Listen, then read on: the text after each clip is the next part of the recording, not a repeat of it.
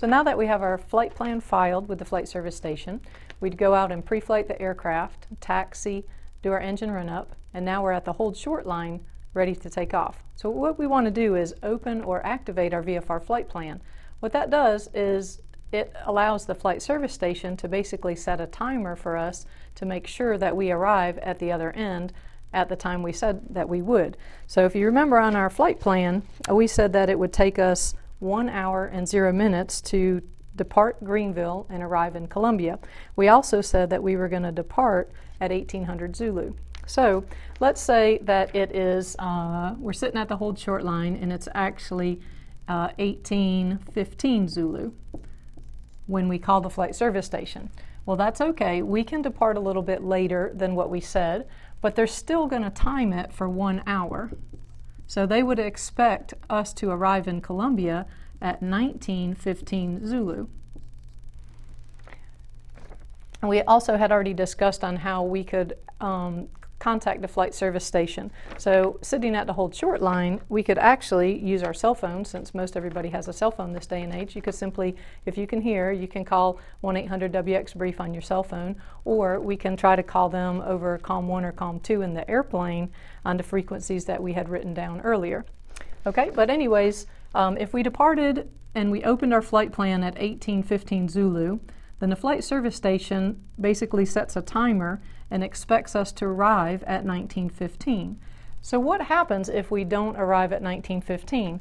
Well, we are considered uh, lost or missing if it's 30 minutes past this. So basically they're giving us to 1945 to make contact with them.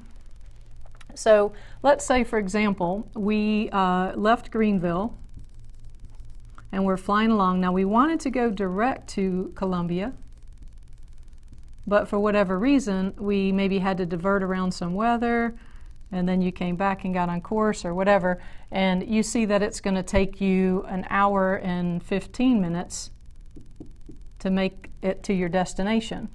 Well, they're not going to start looking for you quite yet. Um, they're not going to activate the search and rescue because it's not been 30 minutes past, but they may actually uh, call Columbia Approach or Greer Approach and ask, hey, have you seen November 870 Sierra Papa, they were due to arrive at 1915 in Columbia and we haven't heard from them yet. And they may say, oh yes, we see them on short final now or whatever, so then they know that you're fine. Now once you land, you want to be sure to close your VFR flight plan.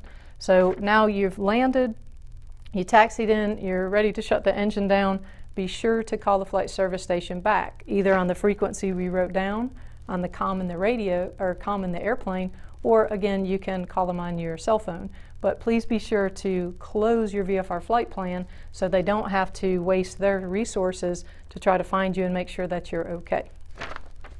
Why exactly would we want to file a VFR flight plan? Do we have to? No, we don't have to, but sometimes it's a really, really good idea.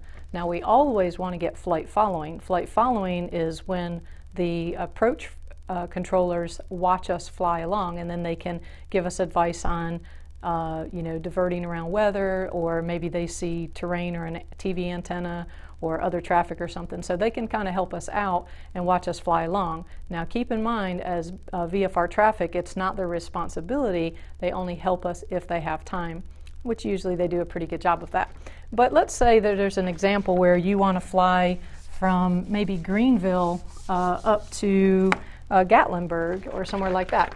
So um, if this is the airport up here that you want to fly to, there are many mountains between us and them. And if you went on a direct flight from Greenville up to one of these airports over here, you'd have to climb all the way up to say 9,000, or excuse me, uh, probably 10,500 to have really good clearance over the mountains.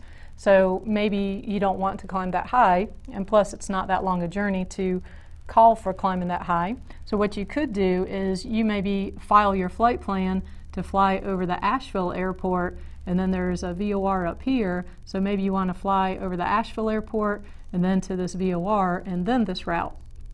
Well, if you had not filed a flight plan, then they the flight service station when they activate search and rescue if you didn't show up on the other side and you didn't have a flight plan, um, so when search and rescue is activated, they're probably going to search this area because they're going to assume that you went direct. But if you had filed a VFR flight plan and opened it, remember we told them our route. Um, and the one that we filed, we just went direct. But in this situation, you would have filed Greenville to Asheville to the VOR and then to your destination. That way, if you didn't show up when you were supposed to and they had to activate search and rescue, they'd have a better idea to know where to look for you. Plus, they would know to look for a white aircraft and they would need um, know to look for three souls.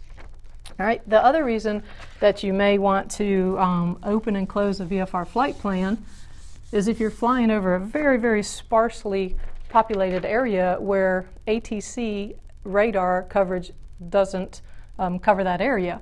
So uh, this actually happened to me and one of my students when we flew from the east coast to the west coast as we were flying um, out near the Phoenix and Albuquerque area and we ended up flying for three hours over the desert which was uh, probably 120 degrees below us um, but we were flying and there was about two or three hours with no radar coverage whatsoever.